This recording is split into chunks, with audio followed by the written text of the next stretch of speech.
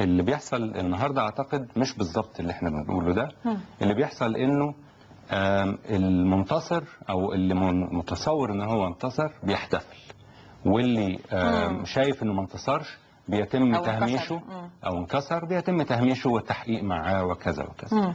فالنهارده إذا يعني أنا شايف مين اللي نصح وزارة الداخلية إنها تحاول الاحتفال ب 25 يناير باعتباره عيد الشرطة أعتقد مساله غريبة جدا لا نصح النهارده ولا من سنين؟ دلوقتي آه، لا من دلوقتي. سنين آه. إحنا القصة آه. والتاريخ وكده آه. طبعا مفهوم إنما دلوقتي الشرطة لما تحتفل يوم 25 أنا عايز أسأل وزارة الداخلية بتحتفل بإيه؟ هل بتحتفل بالثورة ولا بتحتفل بإنها بتحتوي الثورة وبتقضي على الثورة؟ هل بتحتفل بالثورة ولا بالثورة المضادة؟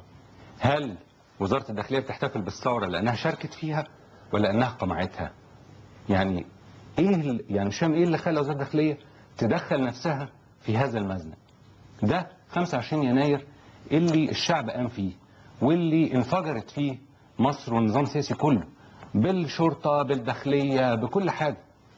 الدولة كلها أجهزتها اتعملت كده 25 28 وأطيح برأس النظام. نتظاهر ان ما حصلش حاجة خالص.